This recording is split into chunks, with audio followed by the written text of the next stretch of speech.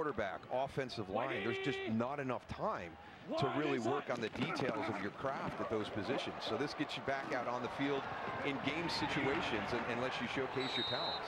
Well, Kyle Lauletta wasn't able to complete that pass right there, and so the Maulers will be forced to punt, and while they do that, we'll let Moose go. We appreciate you joining us, brother. Yeah. Thank you for coming down opening weekend. Oh, Great my to see pleasure. you. Always Yeah, good to see you, man. Always good to yeah, see you, too. re- Thanks so really much. a fun weekend, and you should be proud of, of what you have built here with the USFL. This is really good professional football. It's been a, it's been an absolute pleasure. A lot of hard work, a lot of long days by a lot of great people. And it's just getting started. It's only week one. we'll see you next week. All right, that's Daryl Moose Johnston, head of football operations here for the USFL. He's done a great job of acquiring talent for this league. Another short punt by Duffy. Rashard Davis takes it, and Tampa Bay has a chance starting in Pittsburgh territory.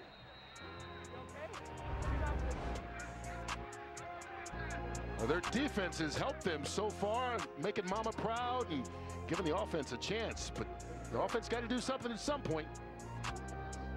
Yeah. The U. Well, the drone's on the ground right now, but it's going to be in the air, and our aerial coverage is brought to you by PNC Bank. One of the fun innovations we've had this weekend. Caught some really cool shots from time to time as well. Yeah, very cool. So not just cool, but useful. Like you.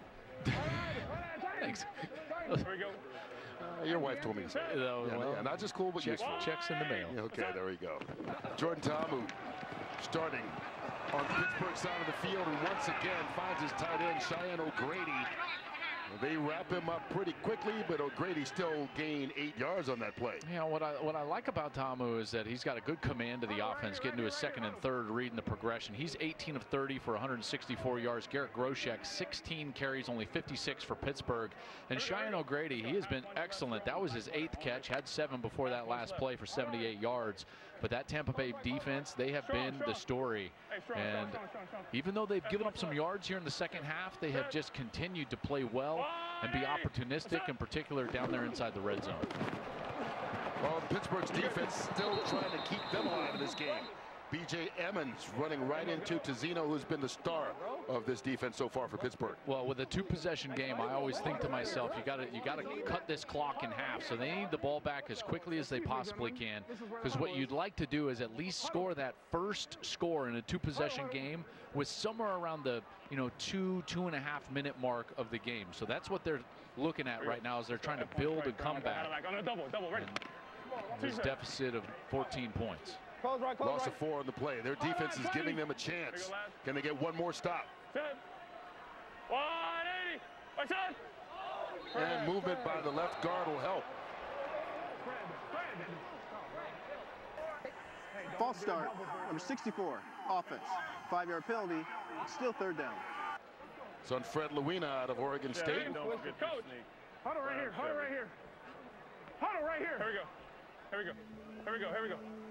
Let's go. True strike, Brown, Chevy. So now. Josh Love and this offense of Pittsburgh thinking they're going to get another shot Yeah, here. thi- this is this is what you're thinking. You're thinking they drive the ball in that window right there. Set. We got no. 180. Watch out. Ta'amu up top. Flags go flying. Jordan Lasley went down. There on the coverage with him was Jalen McClain Sapp. And McClain Sapp will argue his case that Lasley went down on his own. DPI 24, 24. Hey, JJ, JJ. Relax. Relax. Now this can be reviewed by Mike Pereira at the command center. There are two fouls on the play, both on defense. Pass interference, number 24, defense. That penalty is declined. Personal foul, roughing the passer, number 90, defense. That penalty will be enforced 15 yards from the previous spot. Automatic first down. So that doesn't even matter. Ethan Westbrook called for this late hit right here on Ta'amu. Yeah, that clearly late and took that shot at Ta'amu. Westbrook should know better with his experience. Brown Parkway. Hold on, ready. And he's going to come out for a snap because that gives a whole new life to this Tampa series. But more than that, it allows him to take 31. so much more clock away from Pittsburgh in this two-possession game. Yeah, right now it's not about the points, but the clock. Emmons. What is happening? Initially hit the backfield by Jeremiah Farms. Loss of one. Kings, Kings, Kings. But the clock keeps moving, and that's the enemy right now that Pittsburgh's fighting. You know, this run game has not done much since that first series. Pittsburgh's defense has done really a good job up front of curtailing Emmons in that run game for the Bandits. 2.3 yard average.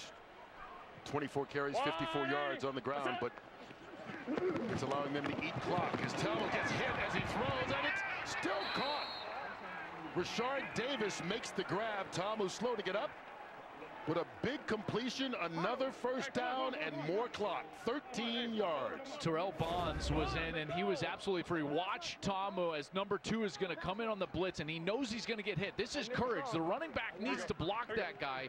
He leaves, and Ta'amu is like, oh my goodness, this is this is courage, folks, in the pocket. You know you're about to get hit. He ends up taking the shot kind of low, and he still is able to make the throw to Davis down the field. First down at the 23. Emmons goes the other way. Little stutter step. They were, you could hear him. They're like stand bound, stand bound, but momentum and Keith Gibson took him out. Hold it right here. It's there. It's there. I want it. I want it bad. Come on, I want it. Let's go. Here we go. Here we go. Let's go. Let's go. F bunch right strong. Black Bono alert brown butter. I want ready. Here we go.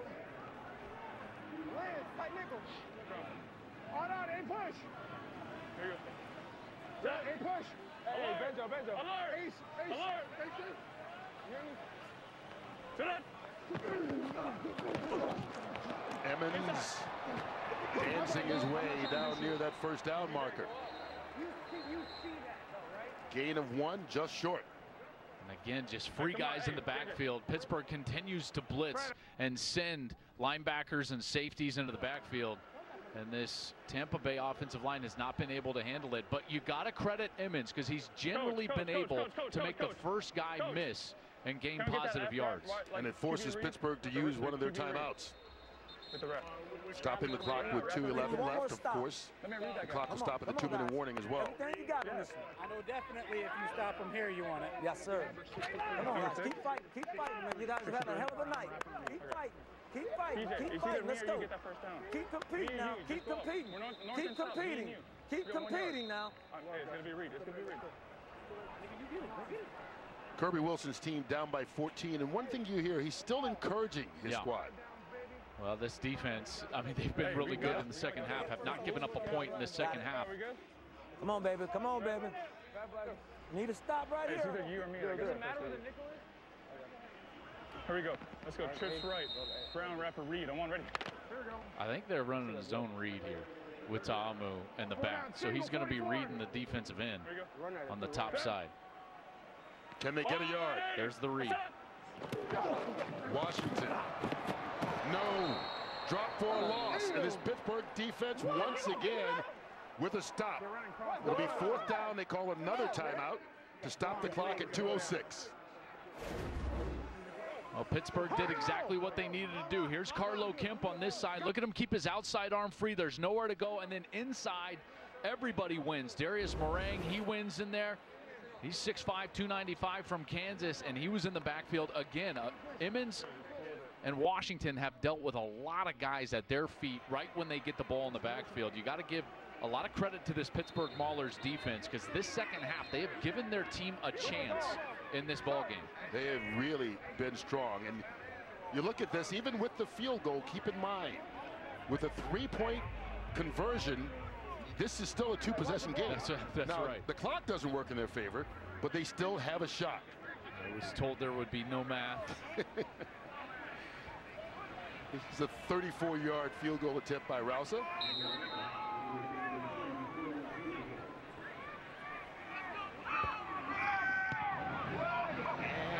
And he slides it left, no good. So the three-point attempt may not even be a factor. Pittsburgh has to get something going on offense. Their defense has done their part tonight and kept it at a 14-point lead. Just outside the left upright.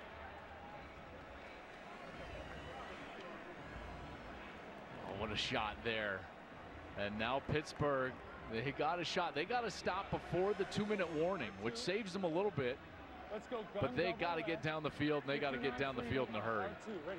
And so Kyle Lauletta comes in at quarterback. Yeah, you can see the Maulers sideline celebrating because they have hope. Side. Here we go, Bailey. White 80.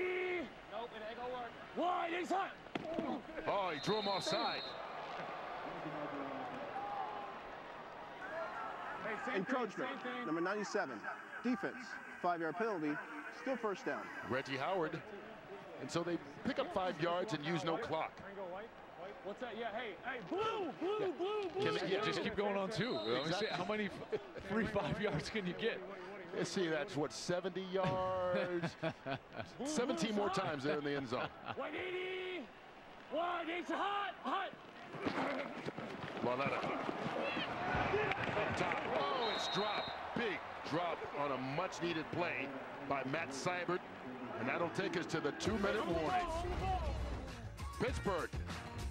Desperation. Western.com. All right. The action continues next weekend in the USFL, and the weekend starts on Friday. 8 o'clock Eastern on USA when the Michigan Panthers take on the New Jersey Generals. Saturday at noon, the Pittsburgh Maulers will battle the Philadelphia Stars, the Battle of the Keystone State. And the Birmingham Stallions will take on Houston at 7 on FS1. Then on Sunday, New Orleans squares off against Tampa Bay. That game will be over on NBC. Friday, Saturday, and Sunday, USFL rivalry week action for you Here go, here go. on Fox and the NBC networks. All right, Pittsburgh just trying to get anything they can going here. Kyle Lauletta flushed out of the pocket. Throws it too high. Had a man open on the sideline. That was Jeff Thomas. You know, the hard part here is that they only have three receivers right now active. And so they, you know, we always say this is like watching like an Air Force Academy game or an Army game where they're, when you, you say like they're not built for this. They can't send more than three wide receivers out. That's right all they have, So it's yeah. like, you, you know, there's there's not a lot of threats down the field. That was like a max protection with three wide receivers back, and Tampa is just going to sit back in a soft pass defense, and it's going to be very difficult to complete the ball down the field. Wide 80. Wide. Here comes the pressure. Lauletta quickly got rid of it, and it was tipped. Luckily for him, it was not picked off. Quentin Meeks had a chance at it. Fourth and five, obviously, they're going to go for it down by 14 points in less than two minutes to go. Well, it's been a frustrating night for this offense, but a lot of that has to do with what Tampa did on defense, Yes. in particular that defensive line. Here we go. Gun double right. 58 freedom on one. Ready.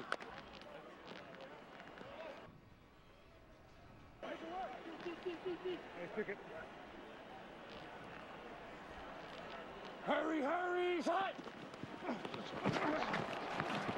Lauletta uh, incomplete, and that may be it for the night. It's kind of indicative of the way this evening has gone for Pittsburgh. Yep. They had nine plays for negative yards on offense, three sacks.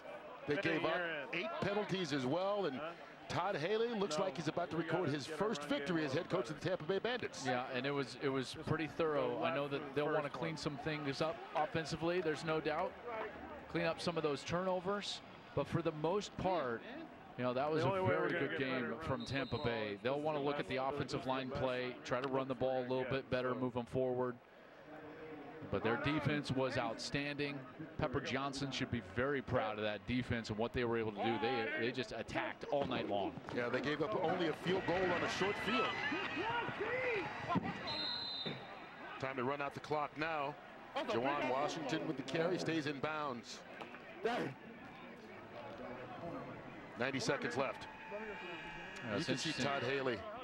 Tan Todd. That's Yeah. what we have to start calling him now. He's been spending his time down in Florida, coaching high school football the last couple of years in I gotta- Sarasota. I got to tell you, you know, I think everybody that's been, you know watched football for the better part of a decade knows that Coach Haley had a reputation for being very boisterous.